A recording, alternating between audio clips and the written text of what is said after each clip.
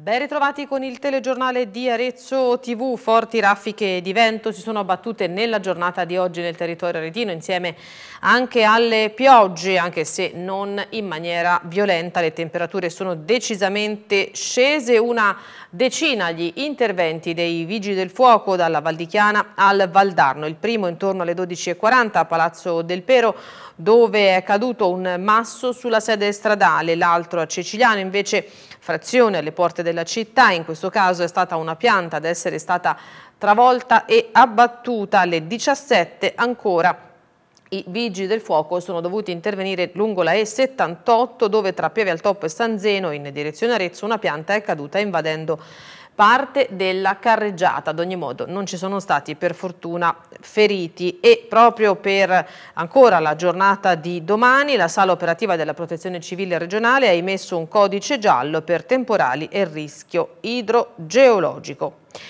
Ancora furti, questa volta ad essere stata presa di mira è stata la zona di Manciano nel comune di Castiglion Fiorentino. Chiara Sadotti.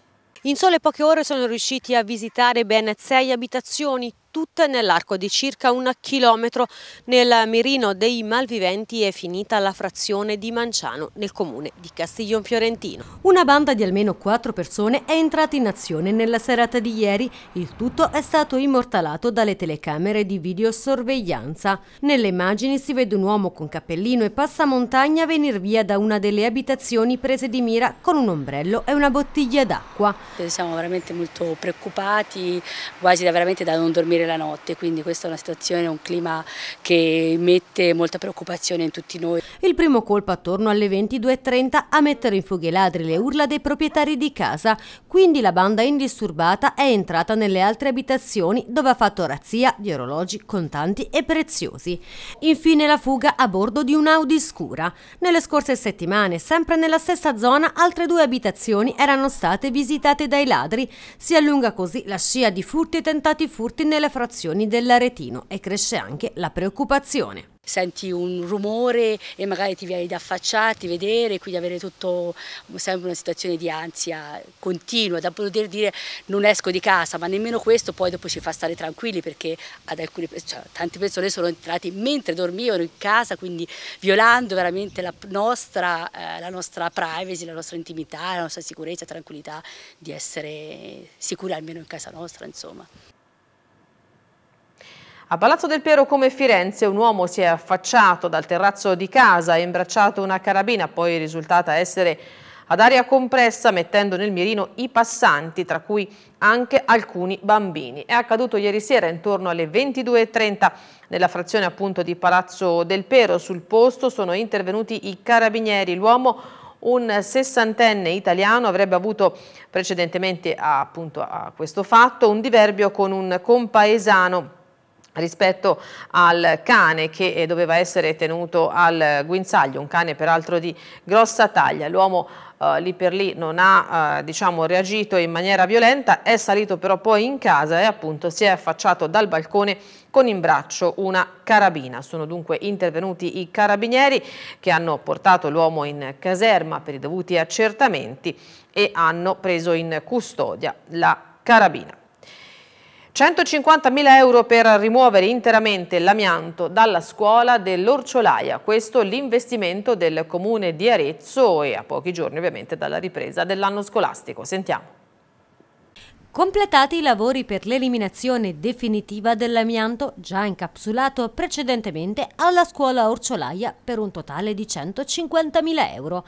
L'intervento di manutenzione e di bonifica ambientale che ha interessato la pavimentazione ha rispettato i tempi previsti essendo iniziati i lavori immediatamente dopo la chiusura per le vacanze estive. Adesso, come da protocollo, l'amministrazione attende i risultati dell'ultima verifica dell'ASL che, dopo l'analisi di rito, comunicherà la conclusione della procedura o la definizione di altri passaggi prescrittivi sempre in relazione alle norme in vigore. Martedì 29 agosto invece è previsto un incontro tra il vice sindaco Lucia Tanti, l'assessore Alessandro Casi e i genitori dei 130 bimbi iscritti alla scuola dell'infanzia e al nido per illustrare loro gli interventi effettuati e le modalità di rientro. La scuola è sempre stata sicura ma siamo molto contenti di aver portato avanti questo intervento nel convincimento che l'amianto incapsulato non crea problemi, ma se viene rimosso è molto meglio e sulle scuole non badiamo a spese, concludono il vice sindaco Tanti e l'assessore Casi. Parliamo adesso di giostra, in poco tempo i posti come sappiamo nelle tribune di Piazza Grande sono davvero andati a ruba, la piazza ha una capienza di 3.600 persone, dei quali circa 1.400 nei eh, quattro spicchi dei posti in piedi, i restanti 2.200 sono poi suddivisi tra tribuna A, B e C, erano già tanti quelli che erano stati eh, diciamo che gli aretini si erano accaparrati con il famoso click day, poi questa mattina il botteghino è aperto intorno alle 9 e sono terminati anche gli altri, adesso restano soltanto i posti in piedi. E allora con i prossimi due servizi andiamo a vedere la cerimonia dell'estazione delle carriere e poi il primo giorno di prove in piazza. Corre la prima carriera, il quartiere di Porta Santo Spirito aprirà la 144esima edizione della Giostra del Saracino il quartiere di Porta Santo Spirito, a chiudere la lizza invece Porta Crucifera, mentre il secondo e il terzo quartiere estratti sono stati rispettivamente Sant'Andrea e Porta del Foro. Questo l'ordine d'ingresso in piazza il prossimo 3 settembre, deciso dalla sorte nella cornice di Piazza della Libertà, come vuole la tradizione. Dopo l'estrazione delle carriere, il giuramento dei capitani dei quartieri alla presenza anche del sindaco di Arezzo Alessandro Ghinelli. Al termine della cerimonia, il corteo storico ha accompagnato la lancia d'oro dedicata al centenario dell'Arezzo Calcio nella cappella della Madonna del Conforto, dove sarà custodita sino al giorno della giostra del Saracino. Da lunedì 28 agosto, tempo permettendo, invece al via le prove dei giostratori a partire dalle 16.30 sino alle 19.30. Andranno avanti avanti fino a mercoledì 30 agosto, giovedì 31 invece la simulazione di gara a partire dalle 17 quando i giostratori avranno a disposizione una carriera a vuoto ed un solo tiro al buratto. Venerdì 1 settembre alle 21.30 infine la prova generale dedicata a Vittorio Dini.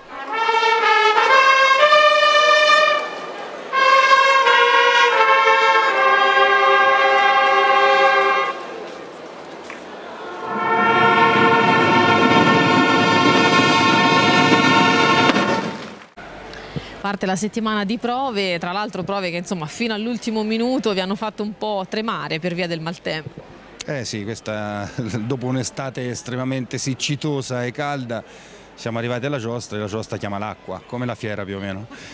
E quindi siamo stati tutto il giorno con, eh, e lo siamo ancora, insomma, con un po' d'apprensione sperando che Giove Pluvio ci dia una mano.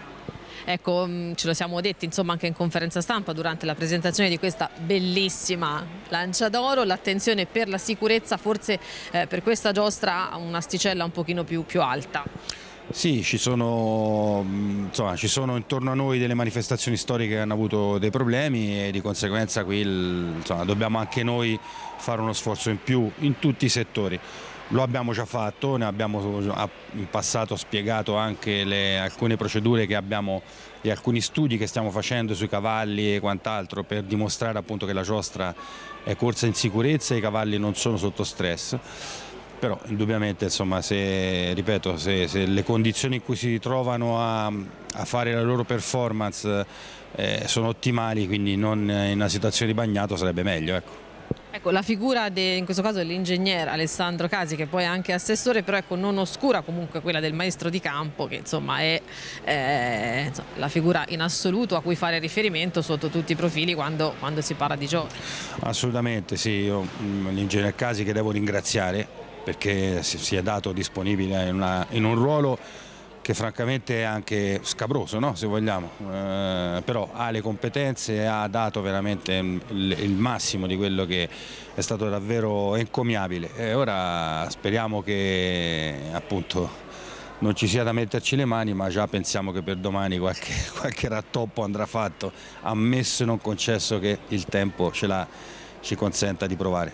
Questa scelta anche per quell'incidente che poi per fortuna non ebbe conseguenze né per il cavallo né per il cavaliere che però c'è stato.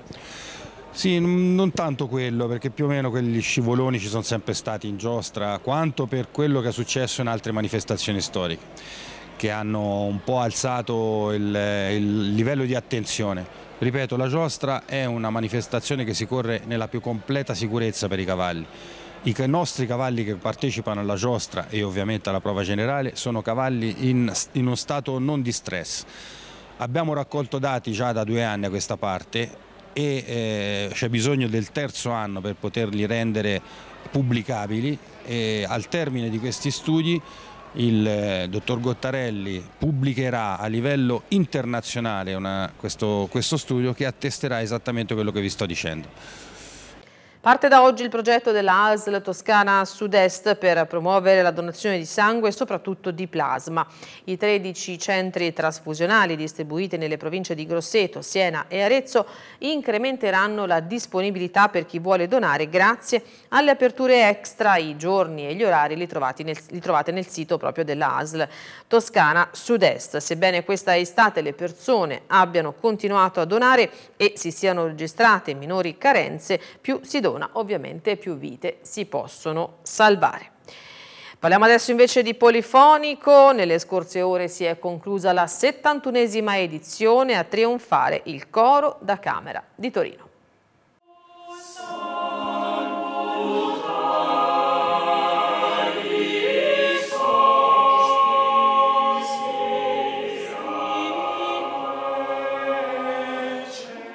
Coro da Camera di Torino si è aggiudicato il Gran Premio Città di Arezzo 2023 del concorso polifonico internazionale Guido d'Arezzo, una garanzia per l'accesso di diritto al Gran Premio Corale Europeo 2024 che si terrà a Varna in Provenza il prossimo luglio.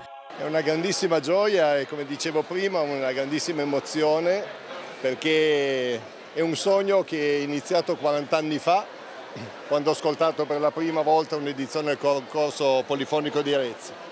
Tornarci e partecipare era già una grandissima emozione per questo e una grandissima, immensa gioia per tutto il lavoro fatto, un risultato che è andato oltre ogni nostra aspettativa e che vogliamo condividere comunque con tutti i partecipanti di questo concorso con tutti i coristi che hanno studiato, che si sono impegnati, ai maestri che stanno facendo una grandissima opera di, di, cultura musicale per i giovani. 13 cori provenienti oltre che dall'Italia, da Spagna, Indonesia, Paesi Bassi, Filippine, Portogallo, Polonia, Inghilterra, Svezia ed Irlanda che si sono sfidati per la 71esima edizione della competizione. Perfettamente in linea con eh, i livelli degli ultimi dieci anni. Devo dire quest'anno con una piacevolissima sorpresa, un exploit secondo me parecchio interessante dei due cori italiani che hanno partecipato, tutti e due arrivati in finale per la disputa sul Gran Premio Città di Arezzo.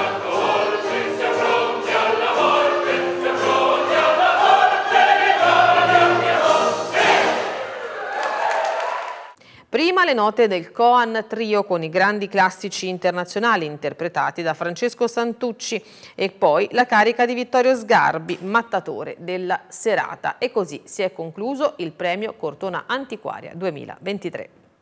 Vittorio Sgarbi e Francesco Santucci. A loro è andato il premio Cortona Antiquaria di questa edizione 2023. Le due personalità al centro della serata hanno ribadito il loro amore verso Cortona, una città che continua a dimostrarsi luogo accogliente per chi fa arte e spettacolo.